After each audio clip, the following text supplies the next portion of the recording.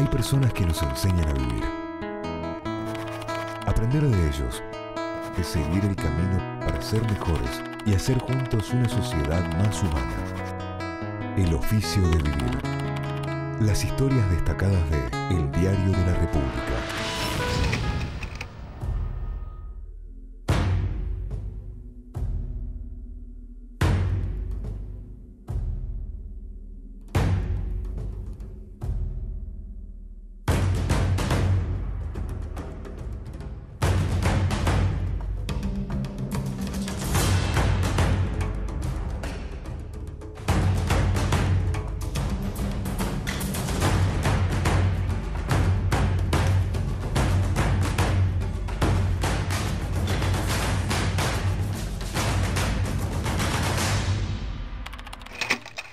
Bienvenidos al oficio de vivir en una edición especial desde el Diario de la República.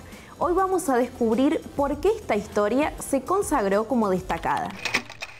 Responsabilidad social, y acá es un momento muy especial porque las conozco, porque también eh, las he visto desde cerca quizá en este trabajo. Y se trata de Sonia Rivero, Melisa Sánchez y Florencia Lazart, que preservan el legado de la Universidad Nacional de San Luis y de la Mixta el grupo de mujeres lleva más de 20.000 archivos clasificados, entre ellos documentos que datan de 1939 y fotografías de los primeros alumnos de ambas instituciones. Reciben, por supuesto, Sonia, Melisa y Florencia y entrega Leonardo Cram, periodista de sección provincia.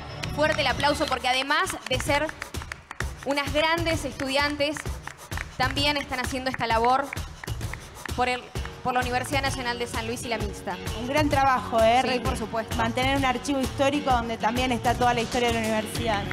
Fuerte el aplauso. Preserva nuestra historia, ¿no? Soy doctora en Ciencias de la Educación. Em, trabajo como en las cátedras eh, como responsable de Historia y la Educación Latinoamericana y Argentina y en Historia General de la Facultad de Ciencias Humanas. Eh, soy directora de un proyecto de investigación que se llama Hacer la Historia, Construir la Memoria, su impacto en las ciencias humanas. Eh, integro el Consejo Directivo de la SAI, la Sociedad Argentina de Historia y la Educación.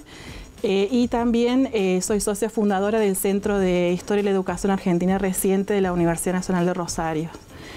Em, bueno, la iniciativa mm, em, por, contar con un archivo organizado en nuestra universidad eh, se remonta, digamos, desde un interés desde la investigación.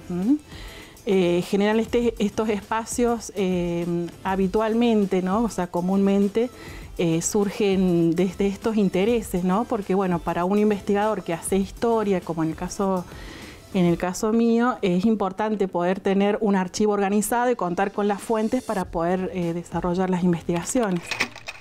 Soy Valentina Romero Michel, estudio periodismo eh, acá en la, facultad y bueno, gracias a uno de los trabajos que, nos pidieron en, la materia de radio, eran las prácticas que estamos realizando, eh, quise un poco conocer el legado de Mauricio López porque había, mi familia tenía un acercamiento con él, eh, mis abuelas, entonces quizás quería ver, eh, lo, que, lo poco que conocía de él era su faceta personal.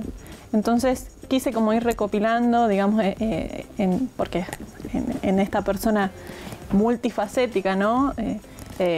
quise ver qué, otras cosas, digamos, conocerlo a fondo. Y una de las cosas que me, pareció más interesante fue que para conocerlo a Mauricio y conocer su legado, tuve que venir a, lugares históricos y no con mis representantes de los centros de estudiantes, digamos, quizás no tanto con mis profesores. Siempre, eh, digamos, ir, ir a lugares específicos que trataran sobre la historia. Mi nombre es Melissa Sánchez, eh, yo trabajo en el área documental, que eh, en este momento estamos trabajando con el fondo de la Escuela Juan Pascual Pringles. Cuando digo la palabra fondo me refiero a documentos que mm, tienen la relación directa con lo que era el ámbito educativo, programas, resoluciones internas, boletas de a qué se destinaba cada gasto, cada presupuesto. Bueno, una infinidad de documentos que hacen eh, a todo el patrimonio histórico y cultural de la escuela. Nosotras trabajamos, eh, el proceso radica en subir las carpetas. Estas carpetas Em, las limpiamos, el primer, la primera etapa consiste en limpiarlas, que sería sacarle toda la tierra, porque son carpetas, desde, tenemos desde mitad del siglo XIX documentos. Eh, le retiramos toda la tierra y desde la archivística es fundamental retirarle el metal que tienen los ganchitos porque los documentos es crucial guardarlos sin metal para que con el tiempo no se oxiden ni el material se empiece a echar a perder. Em, luego de esa etapa se deja sentado mediante dos fichas que contiene esta carpeta, sobre qué se trata, qué año. Eh, se le coloca un rótulo y esa caja se destina a los dos primeros anaqueles del archivo, que es para atrás o atrás mío, y bueno, y ahí vamos con todo el procedimiento. Nosotras tenemos, eh, luego de terminar con el fondo de la Escuela Juan Pascual Pringle, tenemos que pasar a limpiar lo que sería el fondo de ya la Universidad Nacional. Así que bueno, un proceso muy largo porque la realidad es que los documentos tienen muchos eh, ganchos, entonces como que lleva mucho tiempo. Eh, una carpeta, por ejemplo, yo esta la arranqué hace una hora y todavía estoy sacándole los ganchitos. Eh, y bueno, luego de eso ya queda ahí archivado para que en algún momento, ojalá se pueda digitalizar, cosa de que sea mucho más accesible para un estudiante, un historiador o algún investigador que desee consultar sobre estos documentos. Soy periodista, trabajé 15 años en Radio Universidad, soy empleado no docente de la universidad. Estuve un tiempo como jefe de prensa de la municipalidad y cuando volví a la universidad eh, había un lugar en el archivo con un fondo de diarios del profe Menéndez. A mí me encanta hurgar, indagar en archivos porque, bueno, somos de otra generación, leíamos papel antes, la gente necesita tocar papel. Entonces, bueno, eh, he pasado por varios procesos, he vivido en San Luis desde el 85 en adelante, por lo tanto había muchas cosas que yo me las acordaba, me las acuerdo. Y que bueno, estaban ahí para irlas a buscar y ver qué se podía hacer con ellas y ponerlas al alcance de, la comunidad, que me parece que es lo más importante. Es un archivo muy completo. Eh, el profe Menéndez ha guardado diarios desde la vuelta de la democracia en adelante. Incluso hay algunas mm, cajitas con recortes de años anteriores, de la década del 60, pero muy poquito. del profe Menéndez es poquito lo que hay, pero hay cosas él ha prometido que va a traer un archivo de revistas, así que bueno, lo estamos esperando y lo vamos a recibir encantados. Así que bueno, en principio eh, la intención es eh, ubicarlos, ya están seleccionados por año, ahora hay que separarlos por mes y por día y bueno, ver la manera de conservarlos y de que la gente pueda acceder, todos aquellos que lo necesitan, ya sean de la universidad o de fuera. Y también instar a la comunidad a que aquellos que tengan este tipo de archivos y no sepan qué hacer con ellos, porque muchas veces sucede que los hijos heredan de los padres o de los abuelos y quedan esos papeles dando vuelta y van de una caja arriba un ropero, del ropero y al final terminan eh, destruidos, que bueno, que los traigan, acá los vamos a evaluar y vamos a ver qué se puede hacer con ellos y, qué es lo que se puede conservar de todo eso. Cuando estaba haciendo mi tesis de doctorado, bueno, era, mm, consultaba, digamos, los fondos que la universidad tenía, porque mi tesis tenía que ver con la historia de nuestra universidad y de mi carrera en particular. Em, entonces, bueno, estaba en, ese momento en el subsuelo, donde era, digamos, lo que sería hoy la ex biblioteca eh, central de la universidad, en el tercer subsuelo. Eh, ahí funcionaba todo lo que era la parte de depósito, digamos, o sea, em, digamos, de material de las distintas dependencias de la universidad. Bueno, no estaban en un buen este, estado, digamos, en condiciones tampoco de consulta, porque estaba, había tierra, bueno, estaba realmente eh, como en riesgo de alguna manera, ¿no? Luego, bueno, empecé con la investigación.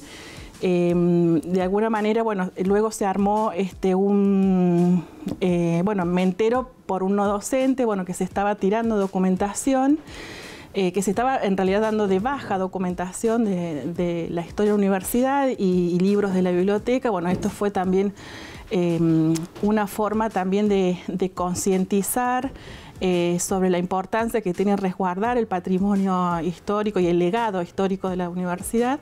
Entonces, bueno, empecé, bueno, armamos un proyecto, ¿sí? En el cual eh, también estuvo la profesora Violeta Gullot, ¿sí?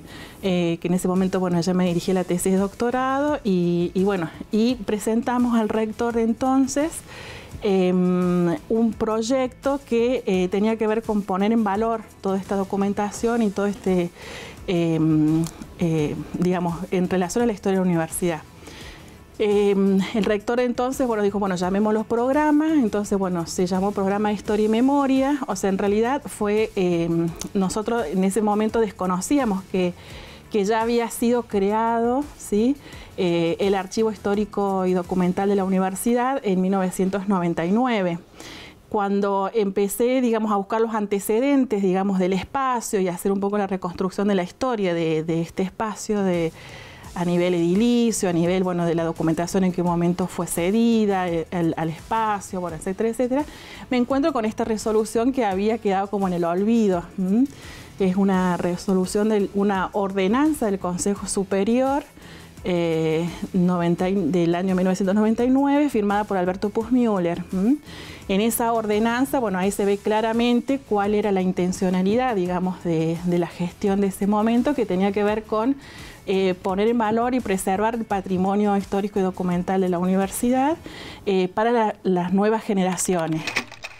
A la primera iniciativa a la que, a la que, la que yo participo del, archivo histórico es el taller de imágenes de la universidad, en donde vinieron no docentes, eh, docentes que, y estudiantes que de algún momento que, vinieron a la universidad y mm, para reconocer en las fotografías, en books de, fotografías, eh, qué personas aparecían en esas fotos, porque en nuestro eh, en, todas las fotos que tenemos, más de los 5.000 fotos que tenemos, digamos, falta el reconocimiento de, un montón de, personalidades y, también de años, digamos, de, qué era lo que pasaba en, ese momento.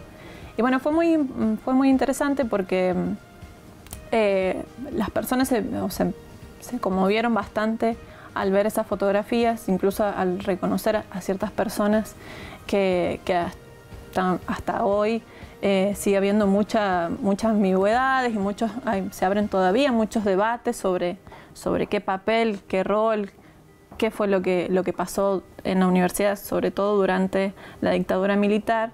Así que al final de ese taller se hizo un debate eh, y bueno, y, ahí salieron, digamos, todos estos eh, todas estas profundas reflexiones sobre todo, además al, también al, a cómo está hoy el estudiantado, ¿no? a cómo hoy la historia interesa al estudiantado. Entonces, eh, yo era la única estudiante que estaba ahí, digamos, y, bueno, como que me vi muy, muy tocada, por así decirlo, porque em, esto que, que volver a Mauricio López desde lugares muy, digamos, estratégicos y no desde un compañero mío, porque la mayoría no lo no conoce más que fue un desaparecido y que fue el primer rector de la universidad, pero para mí fue, fue muy importante, digamos, para mi, mi trayectoria dentro de la universidad.